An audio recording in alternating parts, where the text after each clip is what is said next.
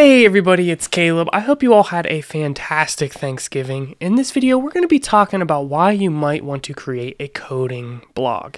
Now, this is something you might do on a regular basis, you know, basically become a blogger where you're posting code content regularly, maybe once a week or every day, whatever it might be. Or this could be something that you do more uh, out of the blue, once a month, once a quarter, or for some big projects you want to share information out there, you can do this effectively through a blog. So hopefully by the end of this video, you know if blogging is for you.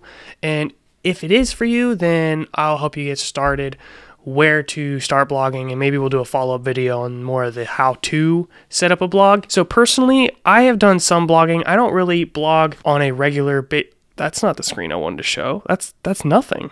There we go, that's a little bit better. So here's an example of a blog I put together, which is basically a collection of notes for a video I created. And you can go through here and you can see I have pretty easy to read code sections, and these were made with GitHub gists. And honestly, this is like one of the longest blogs I've ever created. So uh, they're not typically this long, but basically that'll go through a ton of information. Another example, which is a little less coding related, but something that I've worked on, is some content around different mining operations for a cryptocurrency. And I have a list of reasons why I've created these blogs, and maybe you want to do the same. So, the very first thing is it really helps solidify knowledge when you basically have to articulate your thoughts well enough to write it on a blog that people can read and understand, well, that's a little bit harder than just having it up here. When you go through those extra steps to write the information down, it lets you know whether or not you really understand something. Now, the two websites I built are created with WordPress. I just prefer not to focus too much on the coding of the website, but rather the actual content and the production. So I know a lot of you technical people out there are gonna be like, oh, you didn't code it yourself. Ugh.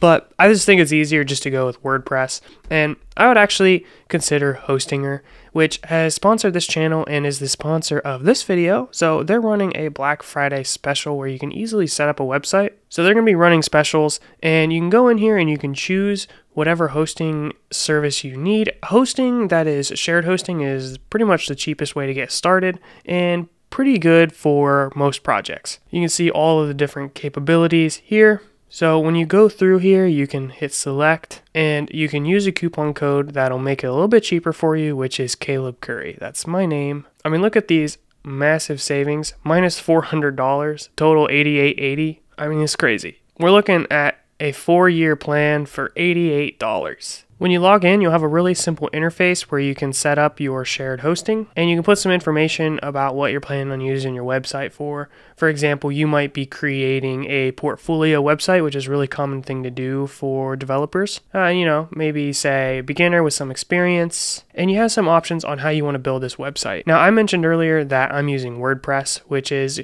a software that's installed and you can customize pretty much everything. It's a content management system. You also have some other options such as Zyro, which is a little bit more um, simplified and doesn't give you quite as much capabilities. I would probably go with WordPress for most of the people watching this video as it gives you some more control. But a general principle I follow is I try not to like overcomplicate it, keep it simple. And you know, there's a lot of different styles and different ways to set up a website. If you're not too picky, it's actually pretty easy to set up a decent looking website. As soon as you want to go custom, it gets a little bit more complicated. But WordPress, I think, is that perfect balance where you have a lot of capabilities to customize without things getting too complicated or without any custom code. You can, of course, do plugins and custom code if you want. And if you're planning on selling anything, that's what WooCommerce can do for you. So here are some of the basic themes you could go with if you want to get started with a website. Now for my YouTube channel, my website has pretty much opened up unlimited opportunities. I have a contact form on my websites, and that's where I've gotten pretty much all of my sponsorships. And that is what's allowed me to do the content creation full time. So here's a really basic contact form on my website where people can put in their first last name and a comment or message. I used to have a much more involved system where basically I said, hey, you want to sponsor me? Here's my different packages. Which one are you interested in? And all of these advanced features. So all that's possible, but I just decided to leave it open for whatever things people want to say.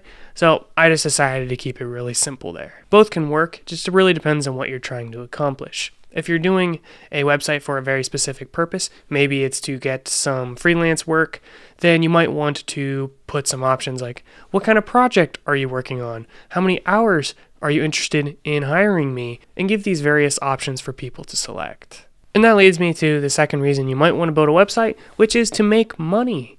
You can make money through AdSense or you know content sponsorships either inside of articles or getting a direct sponsor for ads on the side of your website. But there's a lot of opportunities to make money through the website directly but also through getting other opportunities such as freelance work. So if you're looking for a way to make passive income or to get some more jobs then building a website for coding is probably not a bad idea. As I mentioned, a lot of my opportunities came through my contact form. The third reason I would consider doing a blog for coding is for consistency. I think you make the most progress in learning to code when you study it or build something consistently over time. Yeah, there can be times where you crash course a language or try to learn something as quickly as possible, but honestly, most of my learning has been through creating these videos and writing blogs, but videos is my primary medium, doing it consistently for many years. Shout out to a YouTuber that I think does this really well, which is Kyle from Web Dev Simplified, where he regularly shares out what he's learning in the JavaScript code that he's studying. I think he's probably a really good example when it comes to consistency. So here's a list of some of the articles, and you can see consistently posting pretty much weekly. Yeah, and it's not perfect, you know, sometimes there's larger gaps, but over the course of what looks like years, he has posted pretty much multiple times a month. I had to find someone else's website to show consistency because I'm absolutely terrible with consistency. That's something I actually want to improve a lot on for this channel and for whatever other projects I'm working on, just doing them on a schedule or a regular system. But we'll get there, all right? Nobody's perfect. This is a thing where, you know, if I committed, hey, I'm going to post a blog every Monday, well, then I know that I have something I need to work on and it's going to keep me accountable to my goals. And this is another reason why you might want to consider a blog is to encourage you to keep on going. If you know people are out there watching your stuff or reading your stuff, then you'll be encouraged to work on that content even when you don't want to. To be honest, there are times that I'm like, yo, I don't really feel like working on my business. That just happens sometimes. But I know there's a lot of people looking forward to the content, and it helps me keep going, which has helped me learn a lot as well. And this leads me to my last point, which is you can actually look back at all the content you've created and you basically have a visual path of how far you've come. When you feel like, oh man, I don't know anything, I, am stupid, I'm terrible at developing, well, you can basically look back and see, hmm, you know, actually, I- I've learned a lot over the last months or years or however long you've done it. So it's really encouraging, and you can also refer back to any of that content to refresh your memory which I do a lot actually. I'll actually watch my own videos to refresh my memory on a particular topic, or I'll refer to source code that I keep track of on blogs, like I showed you in my blog earlier. Now, if you don't want to create a public blog, that's fine. You don't necessarily have to. You can still follow these tips to build a system of accountability and progress over time. You know, a lot of my note keeping is blog style, but I don't post every single thing out on the internet. I just use this for my own personal organization and development. Long story short, it doesn't have to be public. It doesn't have to be fancy. You don't have to know everything. You can basically share your journey through code and share the things you're learning. You can refer back to that to encourage you and to refresh your memory to see how far you've come. And having some form of accountability, ideally public accountability and not just working on something privately once a week, having that public accountability helps. But even if you tell yourself, oh, I'm just going to study and create a, a private blog once a week, that's going to help you a lot as well. And then maybe once you build up some confidence, you can try to share something out publicly. Let me know your thoughts in the comment section below. When it comes to creating content, do you prefer to create blogs, videos, posts on social media? What is that medium to share information? If you think you would like to see more of this, what I could do is I could create a video going through the steps to actually create a blog, how to set up a contact form, how to embed code in your blog, how to reduce spam, all the essentials of getting a website set up and having it as a form of a knowledge database and a portfolio. Let me know in the comments section below what you'd like to see and stay tuned for the upcoming videos. Thanks again to Hostinger for sponsoring this video and giving people quality hosting services for an affordable price. Again, if you want to check them out, use the coupon code Caleb Curry so that way they know that this sponsorship was actually worth something to them. Thank you so much and I'll see you in the next video. Peace out.